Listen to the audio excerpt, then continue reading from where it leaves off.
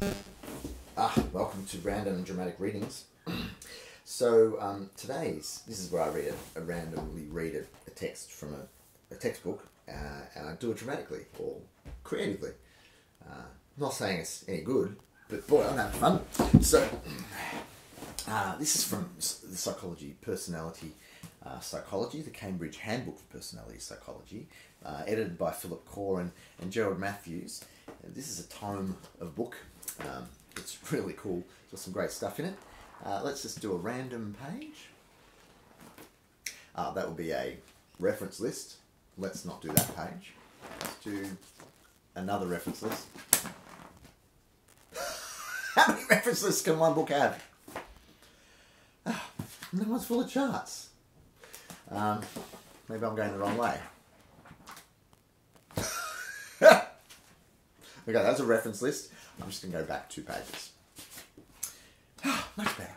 Text, prose, in fact. Um, well, this uh, the personality psychology of situations very interesting. Um, I'll read you the, the, the, title on the other side is Riverside Situational Q Sort because that might give you context. Because you know, gives me context. Ooh, ooh, ooh. One. Can situations ever be viewed independently from people's perception of them or from the behaviours engaged in them for that matter?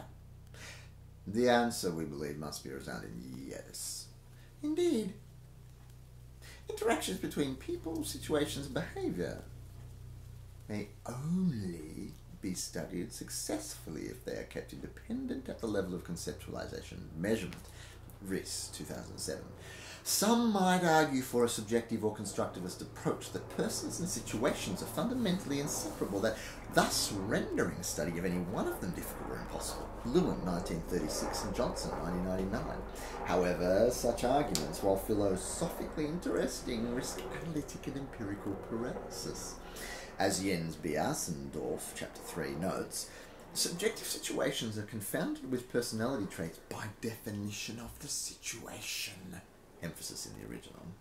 If examination of the triad begins with two or even all three of its threads already woven together, it would be impossible to use any measure thus created as a situational predictor, independent of the personal behaviour. In fact, conceptualizing situations in terms of individual differences, e.g., an extrovert sees situation X in a particular way, while a shy person sees the same situation in a completely different manner effectively absorbs the study of situations into the domain of personality psychology. In order to be equal partners with personality variables in the prediction of behavior, situational variables need to be distinguished from rather from rather than merely mashed into them. There must be something about the situation that is influential across both the shy and extroverted person, or else social psychologists and psychological experimentalists in general will have been wrong all along. Two. At what level should situations be examined? Well, level one, the macro physico-biological environmental level, might have been the advantage of being easily clustered. But while such variables undoubtedly have their effect on behaviour, location clusters like those found by Pearce and Bouffard, 1974, as discussed earlier, seem behaviourally uninformative and unpsychological.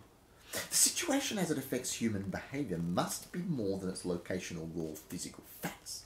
Studying situations at level 3, the micro-subjective functional level, has all the problems contested above regarding the necessity of separating person from situations, and in behavioural analysis runs the risk of circularity. Perish the thought.